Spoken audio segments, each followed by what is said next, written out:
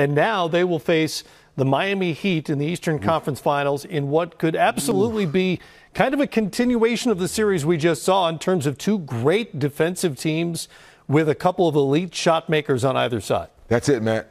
The shot makers. Which, right now, just thinking off the top of my head, which bench is going to make shots? Because to your point, they're going to beat each other up around the basket. They're going to defend. They're going to rebound the ball. But when it's time to share and kick like Jayson Tatum did today, who's going to make those open shots? Who's going to be assigned to Jimmy Butler? Who's going to be assigned to Jayson Tatum? Mm-hmm. All that stuff comes All that's going to be fun. Get- the way Bam's been playing, the way Al Horford stepped up against Giannis.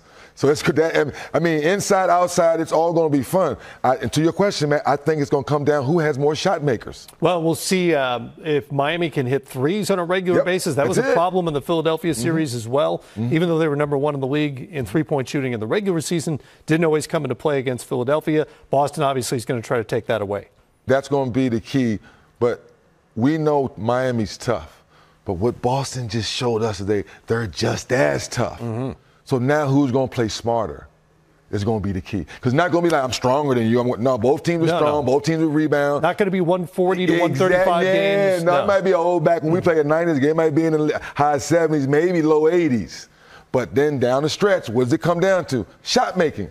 Because both teams are willing to share the ball. So who has enough shot makers on the floor in the fourth quarter to win the ball game? Shot making and, and maybe big stops like the one we saw in the bubble couple of years ago That's when right. these two teams hooked up. One of the great defensive plays in playoff history is get that shot out of here. Bam My name is Bam. comes over to turn away Ooh, Jayson wee. Tatum at the rim. Almost forgot about that match you brought up. Oh, it's upstairs. Still, still upstairs knows how I get crazy. Get that out of here and don't bring it back. Still bubble fresh. My goodness, it got me out my seat over That is one of as good a defensive play you'll see in a, in a pressure playoff situation ever. Ever.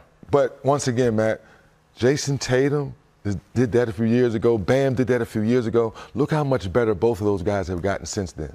So that's why this series is going to be must-see TV, and it's the Eastern Conference Finals. Uh, the Heat will come in. Uh, you hope Kyle Lowry is healthy for this series. Yep. Had the hamstring issue back in Philadelphia. Um, but otherwise, it just sets up to be a knockdown, drag out, classic sort of defensive minded slugfest. And Matt, you've been around us long enough.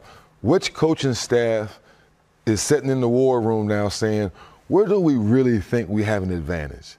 Is it at the point guard position? Is it at the two? Should we go small? Should we go big? And I think which team figures that out, I think will kind of set the tone, as we like to say, for the series.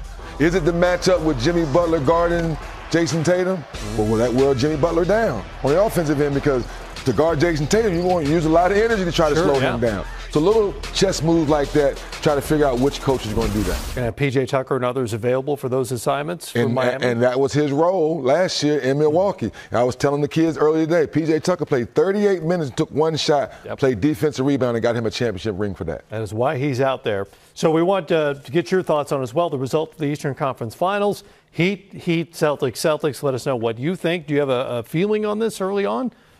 Early on, Game Seven, home it team. Feels like Game yeah, Seven, yeah, right? Yeah, I'm just I'm gonna play it safe right now today. Feels like a Game yeah, Seven yeah, toss-up if everyone's healthy.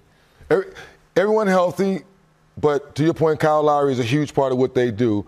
But I, I think what Boston showed us today, and we and obviously Miami did what they did to Philly. I think it goes seven. Just the uh, the savvy and gamesmanship between Marcus Smart and Kyle Lowry over the oh, course of a seven-game series.